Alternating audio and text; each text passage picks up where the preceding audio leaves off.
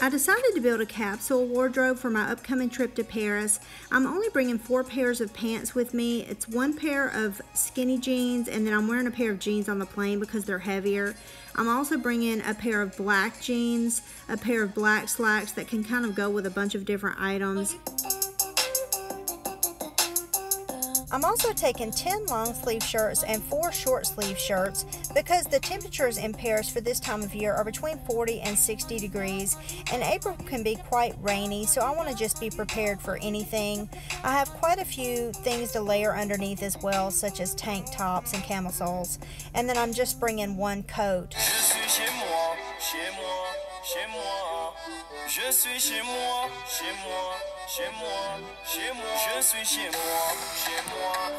Here I'm showing you how to put these items into one of the Eagle Creek packing cubes and this is a compression cube which um, is a lifesaver. I'm so excited that I found out about these.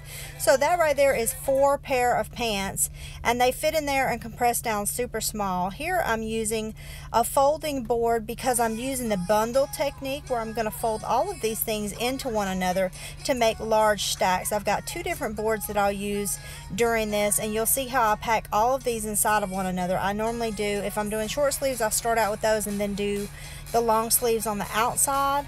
I have a dress that I realized I forgot to and I'll show that in a few minutes and I went ahead and put that just in with my pajamas because it's really lightweight and the wrinkles fall out pretty easily. I also have two pair of shoes here that I'm bringing in my suitcase. I'm actually wearing boots on the plane. I like to put my shoes inside of these little shower caps that I picked up at the Dollar Tree. They're super easy to use and they always fit. They even fit my husband's size 13, 14 shoes. So I love to have those on hand and they keep your clothes from getting dirty. There's my dress I was talking about and I'm just going to put that in an additional little cube along with some of my camisoles and my things I might use to sleep in. This suitcase is new and this is the Delsey Paris suitcase. This is a 21 inch carry-on.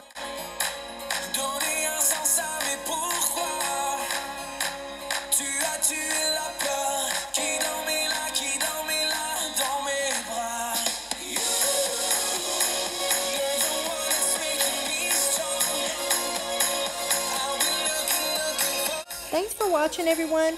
Stay tuned for my upcoming video on toiletries, camera equipment, and other things that I'll be carrying in my personal item on the plane.